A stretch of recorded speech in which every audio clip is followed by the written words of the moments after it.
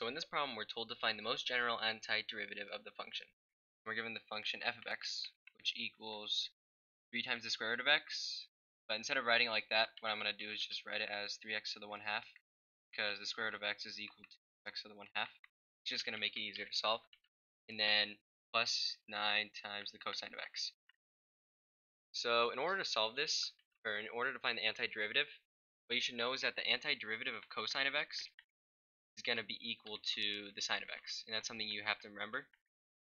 And what you should also know is that, not for this problem, but just for other problems, the antiderivative of sine of x is going to be equal to minus cosine of x. But now that we know that, let's just solve the problem. So what we want to do is find the antiderivative of 3x to the 1 half first. So it's just 3 times the antiderivative of x to the 1 half. So x to the 1 half is going to be, the antiderivative of it is going to be x, and then we add 1, 1 half, and it's going to be our new exponent. So x to the 3 over 2. Then we divide by 3 over 2. When you divide by a fraction, you can just do the reciprocal of it. So this is basically the same thing as 2 over 3 times x to the 3 over 2. But that's just the antiderivative of x to the 1 half. So we have to multiply by 3.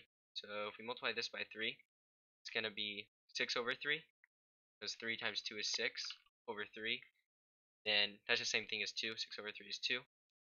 So 2x to the 3 over 2.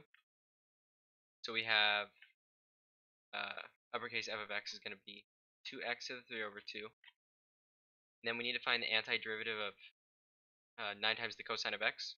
We know the antiderivative of cosine of x is sine of x. Then we're just multiplying it by 9. So it's just going to be 9 times the sine of x. So plus 9 times the sine of x.